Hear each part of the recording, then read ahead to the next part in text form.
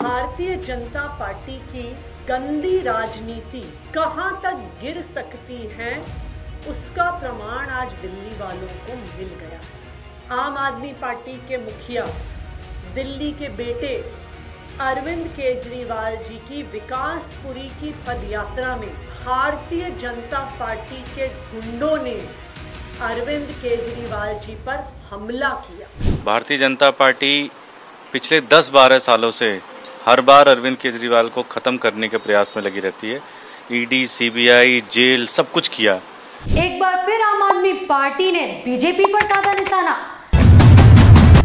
अरविंद केजरीवाल को हरा नहीं सकती बीजेपी इसलिए उनकी जान लेना चाहती है।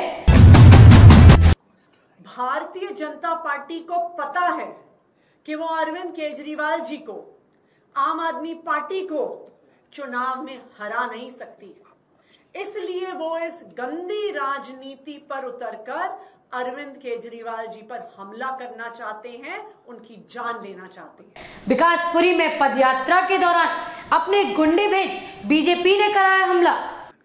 भारतीय जनता पार्टी के गुंडों ने अरविंद केजरीवाल जी पर हमला किया। नमस्कार दोस्तों। दोस्तों दिल्ली के विकासपुरी में पदयात्रा के दौरान पूर्व सीएम अरविंद केजरीवाल पर हमला हुआ, जिसका जिम्मेदार आम आदमी पार्टी ने बीजेपी को ठहराया है। अरविंद केजरीवाल पर हुए हमले के बाद से राजनीति में हलचल मच गई है। एक से एक बढ़कर आप नेताओं के बयान सामने आ रहे हैं और सभी बयान बीजेपी पर हमलावार हैं। एक बार फिर दिल्ली की सीएम आतिशी ने बीजेपी पर निशाना साधा और आरोप लगाया है कि ये हमला बीजेपी के गुंडों ने किया है। आइए देखिए।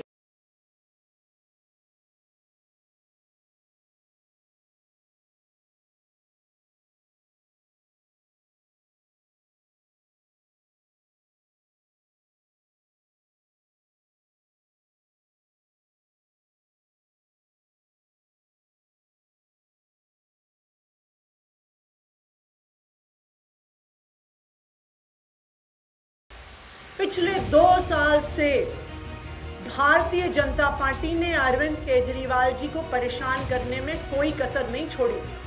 अब भारतीय जनता पार्टी को साफ़ साफ़ दिख रहा है कि उनकी अरविंद केजरीवाल को परेशान करने की साजिश, अरविंद केजरीवाल के काम रोकने की साजिश जब हर तरफ़ से नाकाम हो गई है तो अब वो अरविंद केजरीवाल जी की जान लेना चाहते हैं।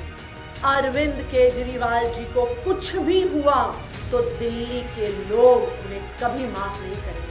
अगर अरविंद केजरीवाल जी का बाल भी बांका हुआ तो दिल्ली के लोग भाजपा वालों से बदला लेके रहेंगे।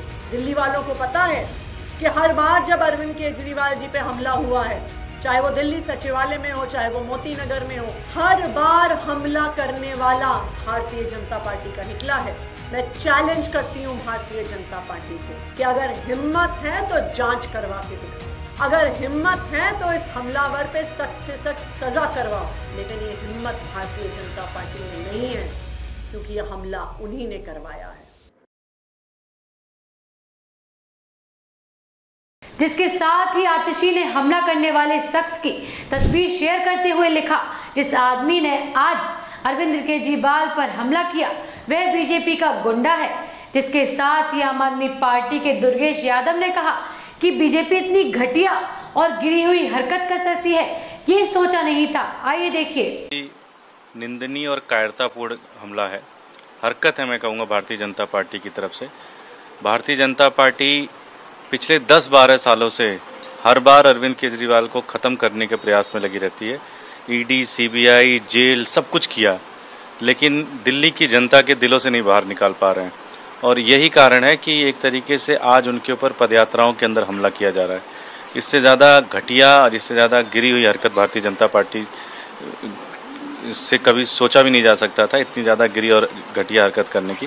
तो दोस्तों, इस घटना के बाद से आतिशी ने दिल्ली पुलिस पर भी सवाल खड़ा कर दिया है। उन्होंने कहा कि एक बार भी अरविंद केजरीवाल पर हमला करने वालों पर पुलिस द्वारा कोई भी एक्शन नहीं लिया गया है। तो दोस्तों, आपकी इस खबर पर क्या राय है? क्या सच में ये हमला भारतीय जनता पार्टी के द्वारा कराया गया है? या सिर्फ़ एक साजिश है? हमें अपनी राय कमेंट बॉक्स में ज़रूर बताएँ।